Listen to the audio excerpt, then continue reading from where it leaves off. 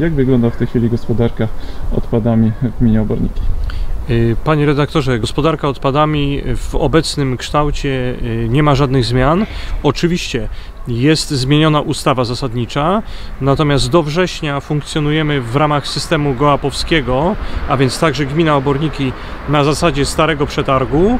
We wrześniu y, rozstrzygnięty już został przetarg, we wrześniu zmieni się częściowo operator na terenie gminy Oborniki, natomiast y, także przy udziale Przedsiębiorstwa Gospodarki Komunalnej i Mieszkaniowej będzie ta usługa dalej świadczona.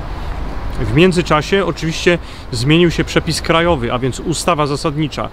Ona wprowadza szereg obostrzeń i także wymogi takie, by y, firmy zdecydowały samodzielnie, czy chcą dalej uczestniczyć w systemie GOAP-u, czy chcą wyjść z tego systemu.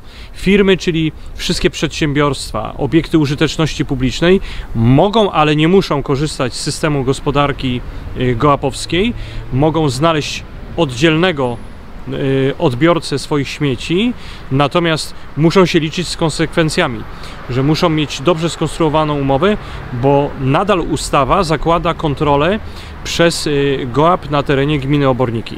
Także tu już się nic nie zmieniło.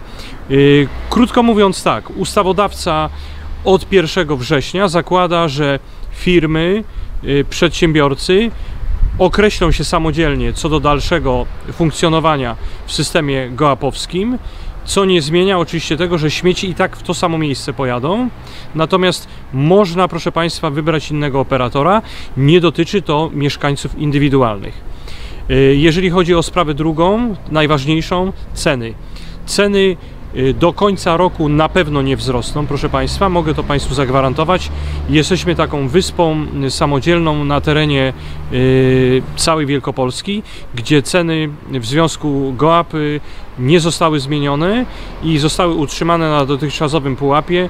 Podam chociażby kilka przykładów z sąsiednich y, rejonów, chociażby y, Związek Select y, ma w tej chwili stawkę y, około 27, 26, 27 zł, bo to w zależności od gminy y, funkcjonuje za osobę.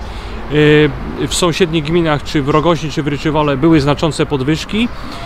My, proszę Państwa, w nowym roku nie unikniemy tych podwyżek na pewno, natomiast będą one dużo mniej kosztowne dla gminy Oborniki, ponieważ dysponujemy mimo wszystko dużo lepszą bazą y, w postaci spalarni śmieci. Ta baza jest o tyle ważna, że ona nie generuje dodatkowych kosztów, które pojawiają się w gminach, które nie posiadają profesjonalnej spalarni śmieci.